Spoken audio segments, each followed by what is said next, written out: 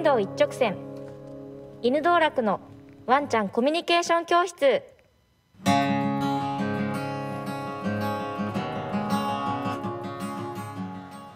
皆さんこんにちは。ワンちゃんコミュニケーション教室の始まりです。ナビゲーターはワンちゃんと飼い主さん双方の思いを尊重したフェアトレーニングをモットーとするディンゴの認定マスターインストラクタートレーナー末川義和とディンゴ認定インストラクターの名護です。よろしくお願いいたします。この番組はご愛犬との暮らしを楽しむためのアイデアをお伝えする番組になります。私たちが所属するディンゴでは支配服従の関係ではなくパートナーとしての関係を築けるようさまざまな情報を科学的根拠に基づいてお伝えしております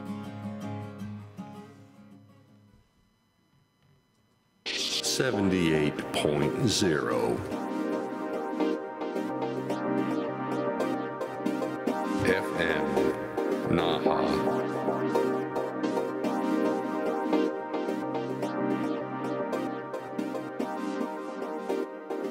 Your radio station. Okinawa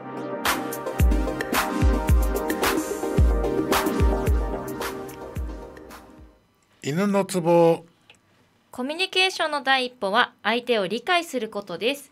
今回もワンコへの伝え方を整理してお伝えしていきます。はいよろしくお願いいたします。よろしくお願いいたします。ここのところねちょっとね、はい。えっ、とクリッカーのお話はい。をしております、今日も 脱線しないように行きたいんだけどさっきね、はい。収録でこのスタジオ入る前に、はいあの四八パンのマスターに会いました。目の前で、はい、ええ。あの娘さんまだ3歳ぐらいかな、ナミちゃんっていうのとお散歩してました。はい。ナミちゃんねちっちゃい頃から私ちょこちょこ会うんだけど、はい。いまだに怖いみたい。ええ。今日も。そうなんですか「ナミちゃん」って手振ると「大きいちょっと大きい大きい」みたいな感じで、えーあそうですか？後ずさりさ れちゃうんですね。ええ。ねえっ、とまああの犬もそうですけどちっちゃい子もね、見上げるってやっぱりねそうですよね。んやっぱり怖いでしょうね。うんうん。というのかななんて思いながら そんなに怖がられる顔かな。まあ時々そういうことは言われるけど。単に人見知りとかじゃないんですか？かな。でも他の人と楽しげにやってるの見て傷ついたことがある。はい四八パーっていうのはあの三重橋にありますね、はい。あとカフェババーですうね、んおしゃれな。はいおしゃれなお店でね、はい。あともともとオートバイ仲間で、うん。そんでえっ、と今はほらお酒が出せないじゃないですか。そうですね。だからあのランチ営業ご飯、うん奥さんがね美味しいご飯作ってるんではい。時々伺うんです。うん。この前そう我々もね時々打ち合わせでね、はい。あそこ使わせてもらうんですね。お世話になってます。ねいいですよ。皆さんぜひ行ってみてぜください。ひお飲み物も美味しいですしね。スしいし。イーツも美味しいではい。す、あはい。とデザインがねそうですやっねぱり上手なの。奥さんがやっぱ美大系だから。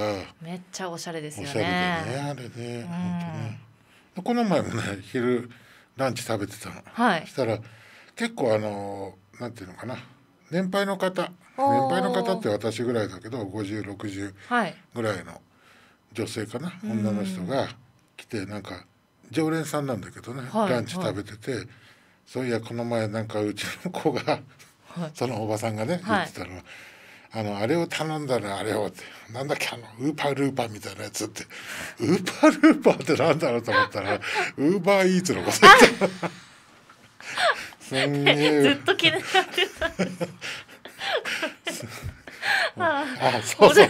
Q シートにウーパールーパーってねこの話しないとと思ってたから Q シートに書いてあるんですね台本にね。ねそれを名護さんは見てずっと何のえー、なんかクリッカーかなと思って。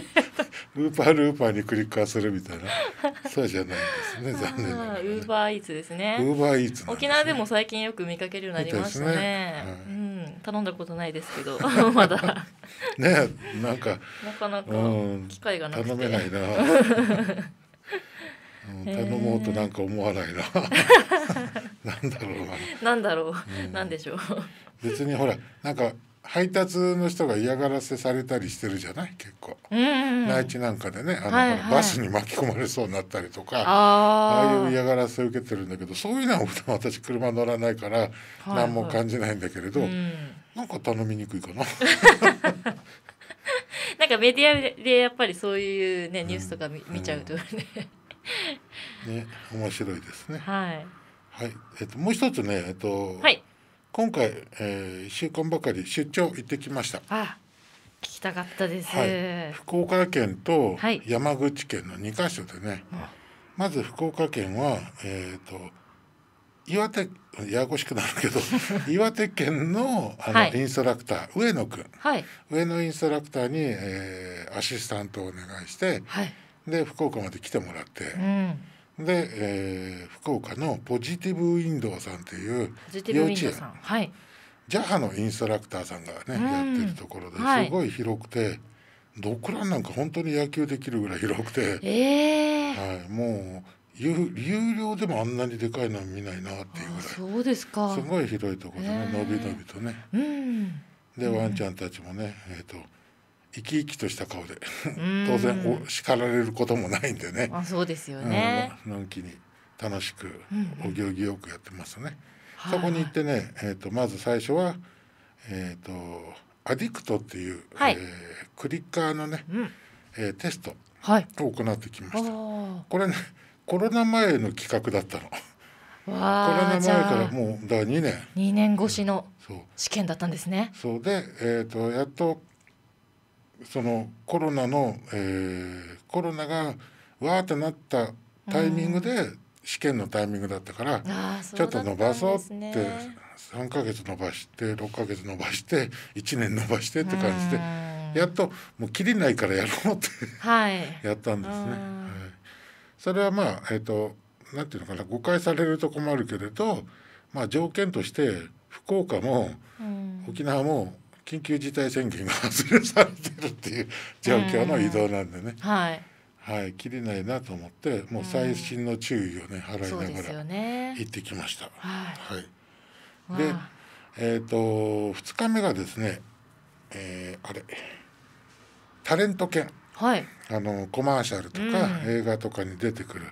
あのよくはい。あの、ニコッとわなんていうのかなニコッと笑ってるわけじゃないけど可愛いワンちゃんの写真のカレンダーとかあるじゃない、うん。はいはい。ああいう単純なもんじゃなくてはい。お芝居をするワンちゃんうん。のセミナーっていうのねうちの師匠うん。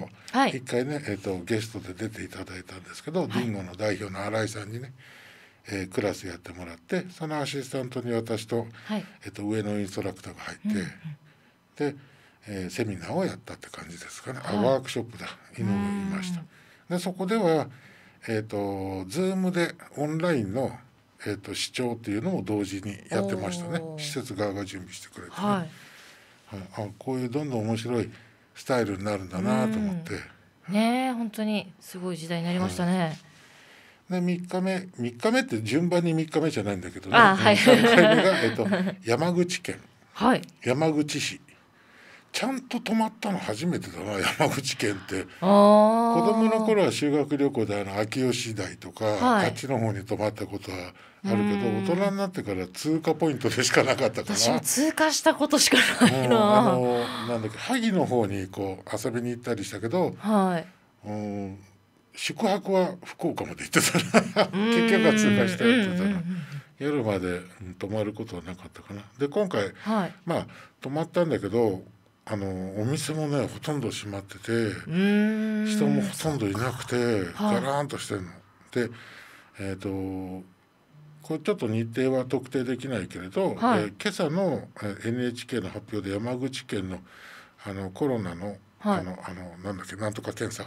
陽性者数はいはい。ですか、がい一人でしたね。やっぱりね真面目ちゃんとやってるとこは結果出すんだなと思った。なるほど。でそこはえっ、となんだっけ、えー、と緊急事態宣言もまん延防止なんとかも出てないから、はい。お店はもうとにかく大変な状態なわけそうです。よね。何の補助もない状態ででシャッターバーッと閉まってて、うん、ちゃん本当やるとこういうなことができちゃうんだな。ん。でもこの人らねその後どうやって食うんだろうなね。ねえ生活もありますからねそういう難しさを感じましたね。本当ですよ。うん。また犬の話じゃない。本当だ。犬の散歩もほとんど見なかったなああそうですか。もっと暗い時間とか人のいない時間にやってんのかな。うーん。なんかね日曜日にあ月曜日に行ったんだけど、はい。なんか山口駅の駅前ですよ。全然人気を感じなかったですね、ああそうなんですはい。ね、うわこんなに真面目にやるんだなと思いあました。あ皆さんやっぱじゃあ自粛されてるんですね、うーん。あとですねえっ、と一緒に行ったう上野くんが初九州そうっていですかもあるし、うんうん。当然関門海峡の意味が分かんないし。関門橋の意味も分かんないし、はい。えっ、と師匠もその壇の浦壇の浦とかあの、はい。えー巌流島とか見たことないっていうから、おー。サービスエリアから見えるんじゃないかと思って行ったら、はい。そのサービスエリアパーキングエリアかうん。がなんか工事してて。来週オープンですって。タイミングが。ないんだと思って。悔しい。ここまで来たのにですね。そうだから、えー、と海峡はちょこっと橋の上から走行しながら見ただけではい。終わりでしたね。わあで帰りねうん。空港で師匠がその福岡と言ったらもつ鍋だろうって言って。もつ鍋って私も師匠も痛風持ちなんだって。そうか。あんまりよろしくないんですか？そうだと思う。内臓系はね。そうかそんなの普段薬飲んでるから大丈夫だよっていうすごい理論でね。美味しかったけど。召し上がったんですね。いや美味しいですよね。ね。福岡のもつ鍋は。うん。あ全然犬の話に まだ戻れてない。そうクリッカーの話はい。戻しましょう。クリッカーの話。はい、はい。この前どこまで行きましたっけ？そんなんじゃダメなんだ。そうえっ、とねはい一つ、えー今日お伝えしておきたいのはもうじ時間半分来ちゃったんでね。えっと望ましい行動に慣らしてあげてください、うん。難しいこと言わないです、はい。えーあ今お座りしてありがたいなと思ったらカチッて鳴らしてうん。おやつ、はい。でこのこのカチッっていう音は何かっていうと正解おやつが出てくるよっていう合図だから、はい。別にこれ持ってなくてもいいわけ。うん。望ましい行動を犬がしたら「そう」って言っておやつをあげる。はい。すると犬はその行動を繰り返すようになりますから、うんそこで叱る必要はないんですねできなかったら。そうですよね。できない理由を考えてみましょうっていうことですよね、うんできない理由ねこの前私まとめたんですこの出張の間に。はい。そしたらね一つ目がねまずあれなんだっけ？なんだっけ？やる理由がない。はい動機。そう、えーはい。動機がないっていうことね、はい。えーとお座りって言ってお座りしたっていい子って言われるけどそんな言葉いらないし。うん下手したら頭触りに来るからねみたいな。すんごい怖い歯むき出しの顔して頭触りに来るからね。そうだから犬は笑ってるって分かるとは思うけど、はい。もしかしたらあの笑う顔ってほら怒る手前の顔うん。説があるじゃない？はい。そうそう。だから、えっと、歯を見せながら顔が近寄ってくるっていうのは犬は怖いかもわかんない、うんそうですよそねんなことまでされて、えっと、お座りすることねえやなみたいな。うん。犬が怒る時は歯むき出しにしますからね。でもああいうのもなんか細かく見ちゃってダメですね。プロになるとね、うん。この前もあの映画で、はいはい。まあ、名前は出さないけれど、えっと外国の映画でね。はい。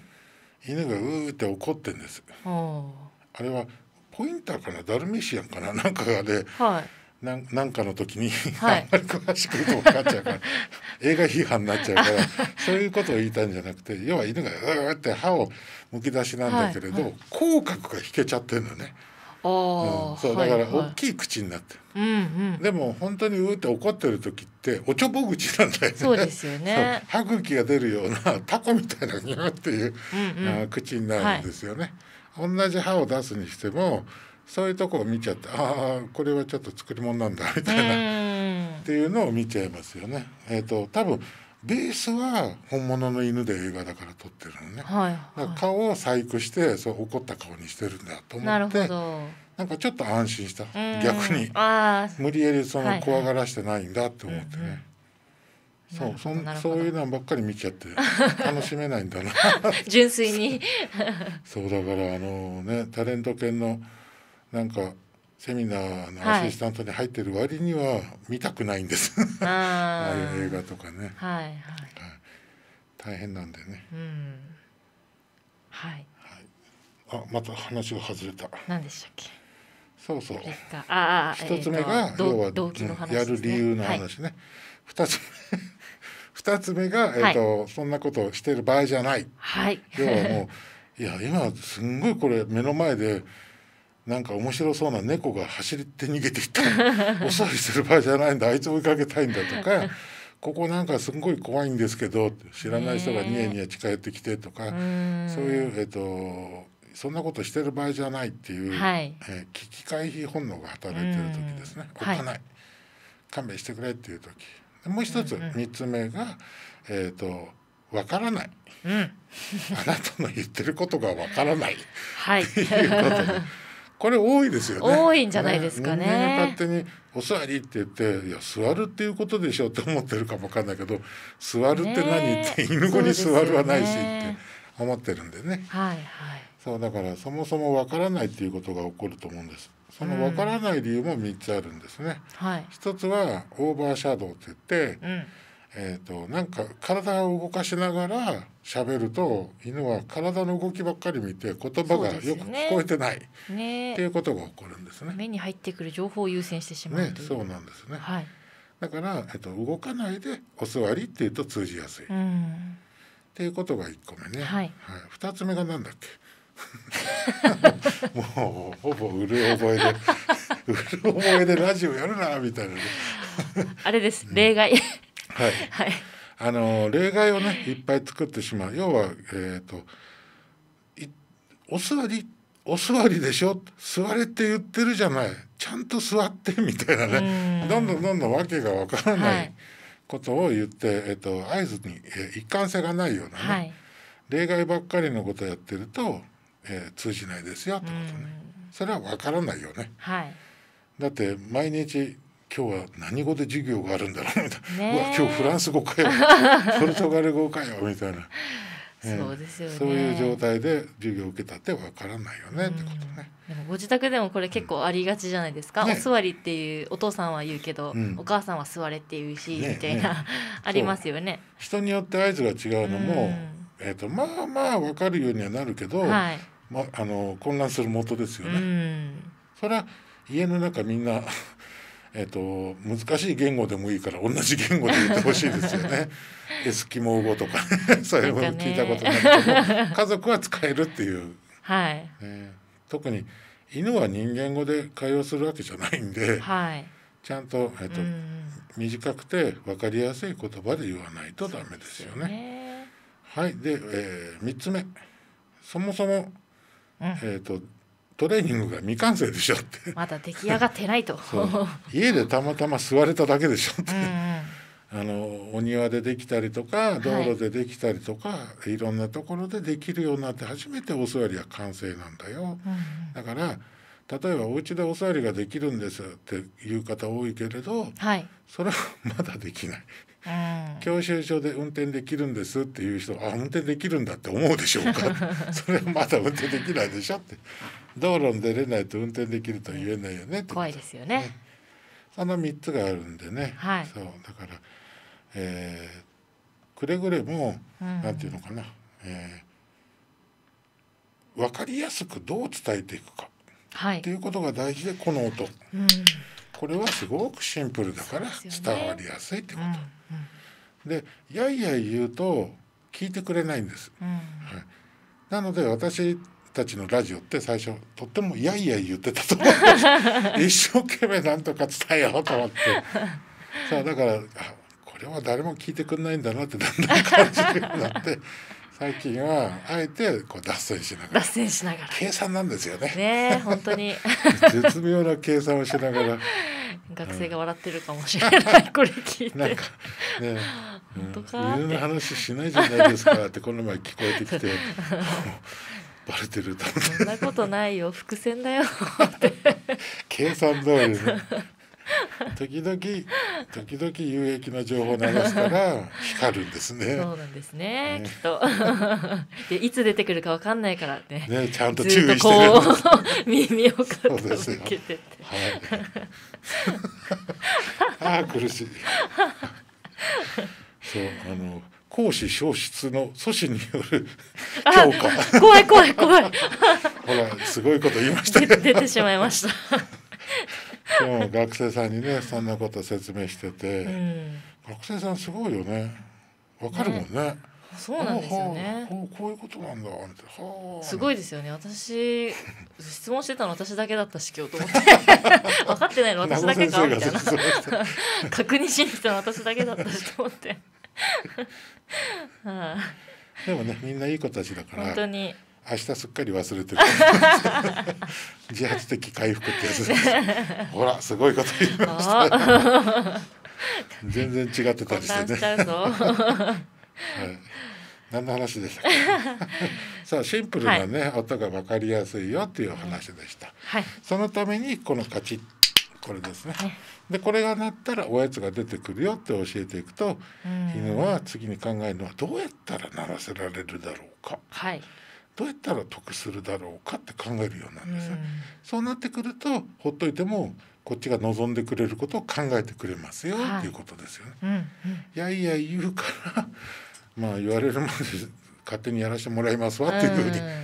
なりますよっていうことですよね。はい。はい、では次回もねまたはい。クリッカーのお話を挑戦したいと思いますけれどはい。脱線もすると思います。はい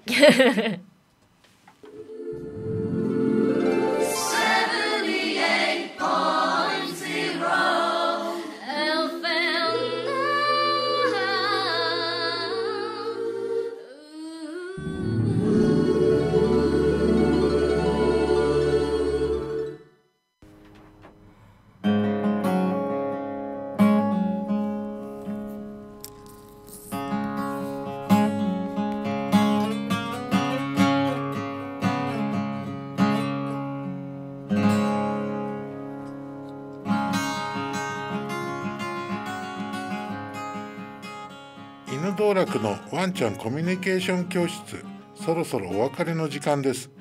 次回もワンコへのコミュニケーションのお話をしていきます。犬道楽のワンちゃんコミュニケーション教室は毎週土曜日夕方5時30分から放送しています。ラジオは FM 那覇 78.0MHz インターネットはリスラジでリアルタイム配信。FM 那覇の YouTube チャンネルからもお聞きいただけます。番組へのご要望ご相談は犬道楽のホームページ 01INUDOURAKU 数字の01から始まる犬道楽で検索していただければ見つかると思います。それではまた来週お会いしましょう。ナビゲーターはディンゴマスターインストラクタートレーナーの末川とインストラクターの名護でした。さようなら